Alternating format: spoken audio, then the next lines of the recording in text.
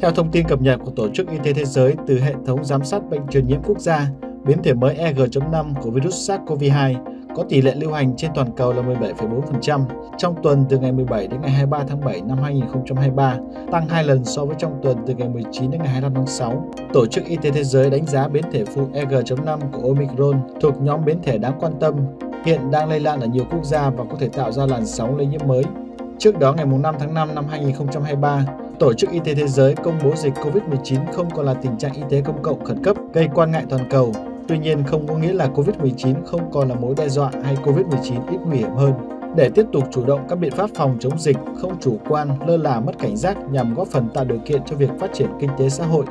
Bộ Y tế đã có công văn gửi Ủy ban nhân dân các tỉnh, thành phố trực thuộc trung ương về việc chủ động triển khai công tác phòng chống dịch. Theo đó, Bộ Y tế đề nghị Ủy ban nhân dân các tỉnh, thành phố chỉ đạo tổ chức triển khai thực hiện các nội dung cụ thể như sau: tiếp tục quán triệt và thực hiện nghiêm các chỉ đạo của Chính phủ, Thủ tướng Chính phủ trong công tác phòng chống dịch,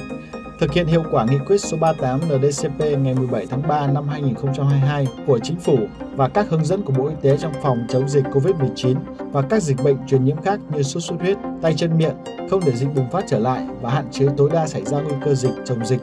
Chỉ đạo tiếp tục chủ động theo dõi, bám sát tình hình dịch bệnh trên địa bàn, chuẩn bị sẵn sàng các phương án ứng phó với các tình huống có thể xảy ra của dịch bệnh, tiếp tục đẩy mạnh công tác giám sát, phát hiện sớm và xử lý kịp thời các ca bệnh, ổ dịch và triển khai hiệu quả chương trình tiêm chủng mở rộng năm 2023, công tác tiêm chủng vaccine phòng COVID-19. Đồng thời chỉ đạo phối hợp chặt chẽ với các viện vệ sinh dịch tễ, Pasteur và các bệnh viện trực thuộc Bộ Y tế để lấy mẫu, giải trình tự gen phát hiện sớm các biến thể mới của virus SARS-CoV-2 và kịp thời báo cáo về Bộ Y tế khi phát hiện biến thể mới của virus SARS-CoV-2 Bộ Y tế cũng đề nghị Ủy ban nhân dân các tỉnh, thành phố chỉ đạo tiếp tục tổ chức tốt và chuẩn bị sẵn sàng các phương án thu dung, điều trị bệnh nhân, thực hiện nghiêm việc kiểm soát nhiễm khuẩn và triển khai hiệu quả công tác chỉ đạo tuyến, nâng cao năng lực chẩn đoán, điều trị, tiếp tục đảm bảo hậu cần, kinh phí, thuốc, vaccine, sinh phẩm, vật tư, hóa chất, trang thiết bị, nhân lực để sẵn sàng phục vụ công tác phòng chống dịch.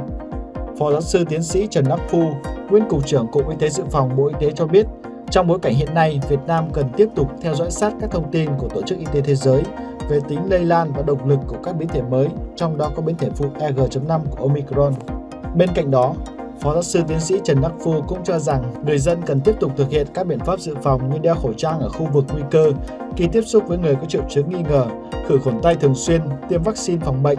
đặc biệt lưu ý với nhóm người có nguy cơ cao, người có bệnh nền, người có suy giảm hệ miễn dịch,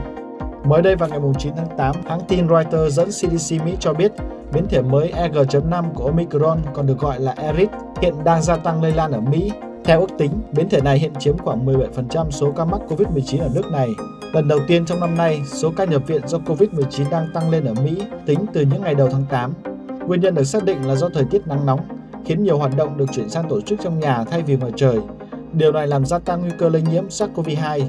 trong khi nhiều người bị suy giảm hệ miễn dịch dù trước đó đã tiêm đầy đủ vaccine COVID-19. Đặc biệt trong tuần cuối tháng 7, Trung tâm Kiểm soát và Phòng ngừa Dịch bệnh CDC Mỹ cho biết số ca nhập viện do COVID-19 ở Mỹ đã tăng 43% so với tuần cuối tháng 6. Tổ chức Y tế Thế giới ngày 9 tháng 8 thông báo cần quan tâm đến biến thể phụ EG.5 của Omicron sau khi ghi nhận sự gia tăng và mức độ lây lan rộng khắp của biến thể này. Ngoài Mỹ, một số quốc gia khác như Anh, Pháp và Nhật Bản cũng ghi nhận số ca tăng mạnh trong vài tuần qua.